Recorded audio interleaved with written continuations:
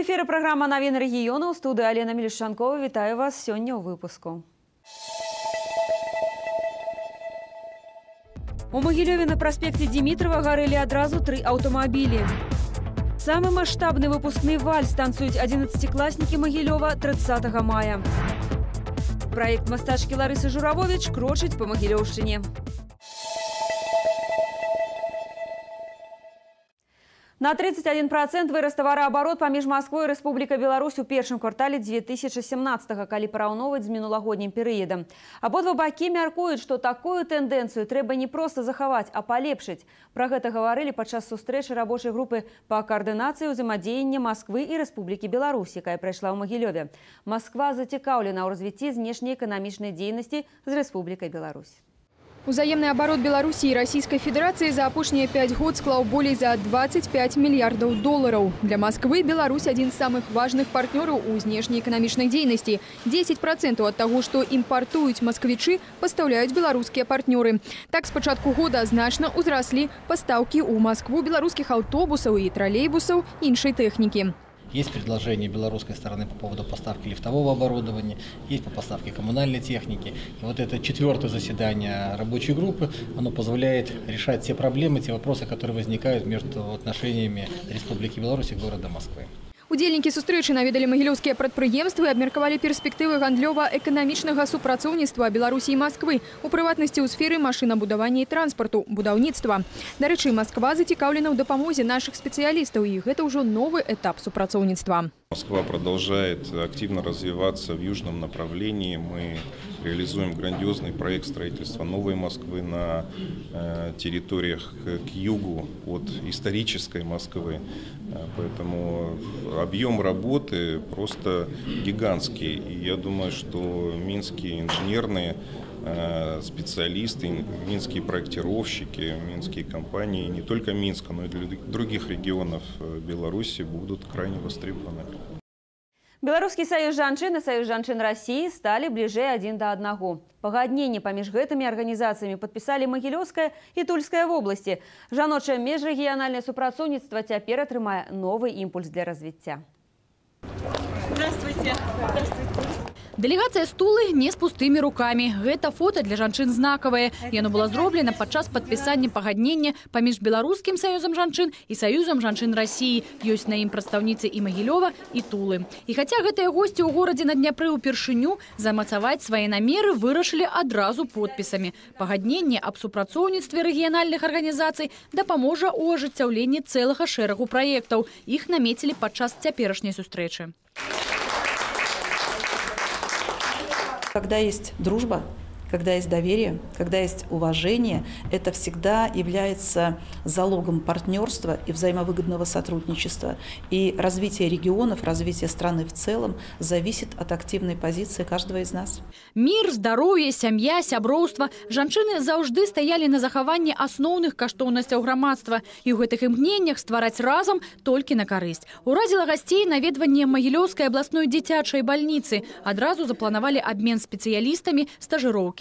И мы заметили, какие высокие технологии. Вот я сегодня просто восхищена. И мы наметили планы дружить нашими областными больницами детскими. Будем как брат и сестра, две больницы, э, находить то новое, перспективное, чтобы развивать дальше. То, что мы подписали сегодня соглашение, мы э, подписались под тем, что мы будем делиться лучшими достижениями, мы будем делиться лучшими идеями, чтобы, может быть, какие-то рождались новые законопроекты в рамках союзного государства. Яшчэ дамовіліся арганізоўваць сумесны кірмаш. Пад эгідай абодвух саюзаў жанчын першым разам ён пройдзе ў туле. Сустрэча аказалася як ніколі цёплай і пяшчоднай. Без падарунка не застаўся ніводны, у тым ліку і журналіст. Знакаміты тульскі пернік атрымаў кожны.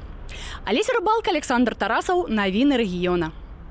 На бабруйскай белшыні пачалі выпуск самых вялікіх шын у свеце. Яны прызначаны для камплектацыі самазвалаў асабліва вялікай грузапад'ёмнасці да 450 тонн. І ў першую чаргу для кар'ернай тэхнікі Белаза. Будуць у ліку покупнікоў і замежныя кампаніі. Попыт на такія шыны ў свеце павялічваецца. За суткі праз гэты міксер праходзіць да 100 тонн інгрэдыентаў будучай шыны. 9 старых агрэгатаў замянілі на 4 сучасных, што дазволілі павысіць прадукцыйнасць. Ды і размеркаванне тэхнічнага углероду ў гуме цяпер амаль што ідэальна. А гэта азначае, што зношвацца шына будзе менш. Ввод в резиновую смесь кремнекислотного наполнителя, либо, как называют его в народе, силика. Данный наполнитель позволяет значительно снизить теплообразование шины при ее эксплуатации. Что касается легковых грузовых шин, то в свою очередь лучше сцепление шин с мокрой поверхностью. Беларускія канструктары стварылі зусім новы прадукт, які не саступае замежным аналагам па якасці і запусцілі ў вытворчасць самыя вялікія шыны дыяметрам ад 57 до 63 дюймаў. Два пресса вулканизационных вот находится один и второй пресс. Они служат для вулканизации шин с посадочным диаметром 57-63 дюйма. Производительность пресса 57 дюймов, э, две штуки в сутки. То бишь можно посчитать, что за трое суток мы делаем два комплекта шин для, для автосамосвала «БелАЗ». Дарэчы, канструкцыя шыны і тэхналогія яе вырабу поўнасцю распрацоўка спецыялістаў белшыны і з'яўляецца ноу-хау прадпрыемства. Буквально через 2-3 месяца мы должны будем собрать самую крупную в мире шину. Это с посадочным диаметром 63 дюйма. На заводе крупногабаритных шин. То это производство цельнометаллокорных шин индустриального назначения э, с посадочным диаметром 25-29 дюймов. Это вся индустриальная техника, строительная техника. Зараз рыхтуюцца да мадэрнізацыі завода масавых шын. Тут плануюць выпускаць у тым ліку і шыны для грузавікоў. Дарэчы, за тры гады ўдалося запусціць у серыйную вытворчасць каля 70 новых тыпапамераў шын. Пра іх ведаюць і набываць у 75 краінах свету, цяпер і ў Кітаі. Андрей Шуляк, Андрей Ястрабаў, навіны рэгіёна. Адразу тры аўтамабілі гарэлі ў Магілёве ў ноч з панядзелка на аўторак. Паведамленне пра пажар на праспекце Дмітрова паступіла на спецлінію 101 у гадзіну 05. Калі выратавальнікі прыбылі на месца здарэння, машыны гарэлі адкрытым полымем. Іх гаспадары знаходзіліся на вуліцы. Спецыялісты мяркуюць, што пажар мог адбыцца з-за кароткага замыкання ў праводцы адной з іншамарак.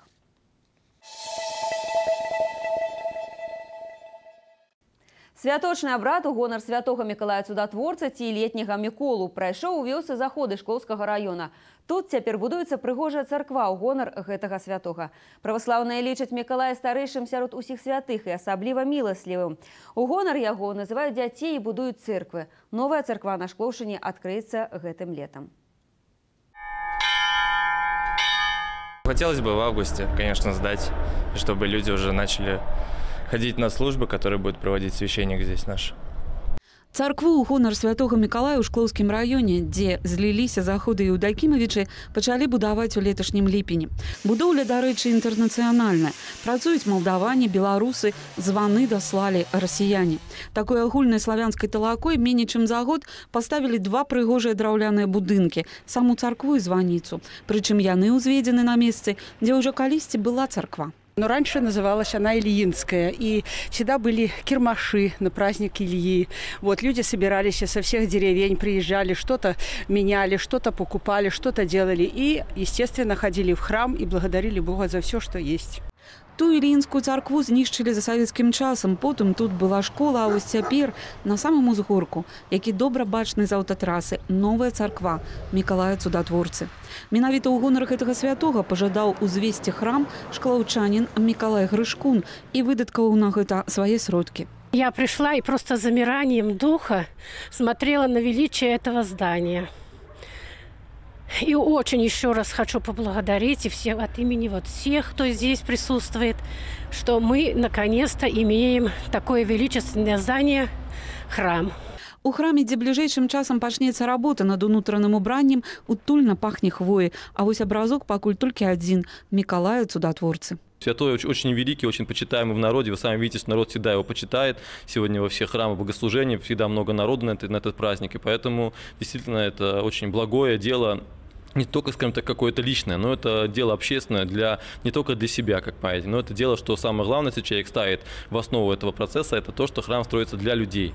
Людей, якія прыйшлі адзначыць дзень святого Мікалая, упершыню запрасілі зайсці ў храм. Служба кароткая, але вяскоўцаў прыйшло шмат. Тым болей, што ў мясцовай сельскай гаспадарцы пра адраджэнне царквы марылі дзесятак гадоў. Места намоленыя, думаю, что Бог будет нам помогать тоже. Сеять и убирать. Сеять и убирать, да. Новая церква гэта і новая мясцовая славутасць, дзе будуць спыняцца вандроўнікі і добрае месца для ўсіх сялянаў. Будут видеться в храме, так что в деревне. Сидят в своих э, э, домиках, никуда ничего. А так, посещая храм, видя друг друга, э, молиться в храме, и появится и добро, и ну, добро будет. Ну а на летняга міколу мясцовы народ прасіў для сябе і для людзей міра і здароўя. Ілона Іванова, Александр Тарасаў, навіны рэгіёна. Амаль 6 з паловай тысяч 11класнікаў Магілёшыны сёлета развітаюцца са школай. Так выпускное свята ў Магілёю збярэ старшакласнікаў 30 мая на плошчы славы. Арганізатары абяцаюць эстрадны флешмоб, творчыя майстар-класы і самы сапраўдны выпускны баль, дзе безумоўна галоўным танцам стане вальс. Гэтая група 11класнікаў 30 мая таксама будзе вальсировать на плошчы славы ў Магілёве. Рэпетыцыі разбілі на этапы, так прасцей вывучаць танцевальная па. Вальсинга здесь нас около 150 человек. Ребята занимались не один день, разумеется, занимались мы около трех месяцев. Было, к сожалению, не так много репетиций, как хотелось бы. Но было выложено в социальной сети видеозапись, где ребята сами готовили, сами занимались, репетировали. Все очень ответственно отнеслись к этому вопросу.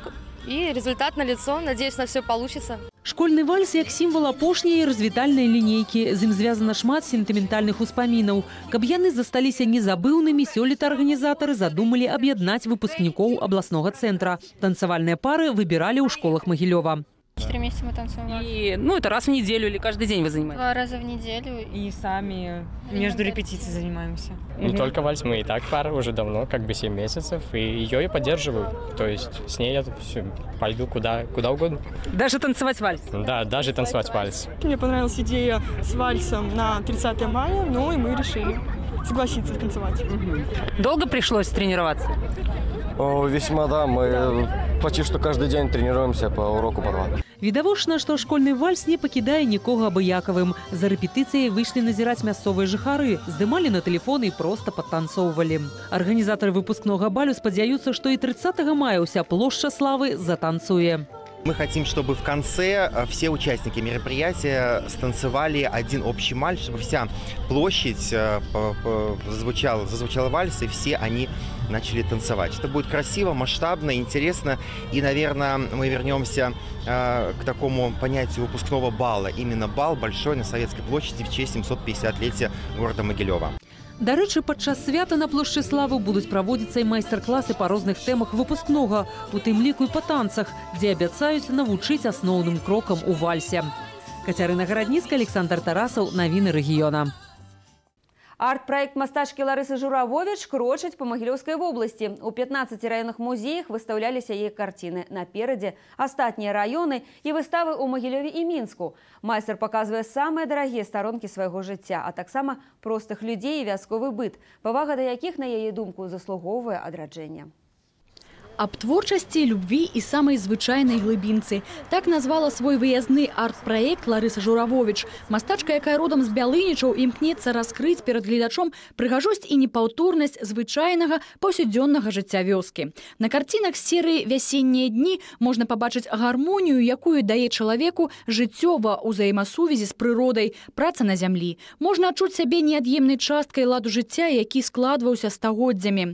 Так, да прыкладу, сюжэтамі для маста мастачкі становіцца капанне бульбы, пасяўная, нарыхтоўка дроў. Усё тое, што было знаёма з дзяцінства. Мне эта вся работа знакома. То есть мне не приходится ничего сочинять. Я э, пишу ту жизнь, в которой я живу, и стараюсь ее донести поближе. И, конечно, я хочу вызвать любовь и уважение и к земле, и к труду на земле, и к простому человеку. Мне кажется, они незаслуженно немножко забыты, остаются в тени.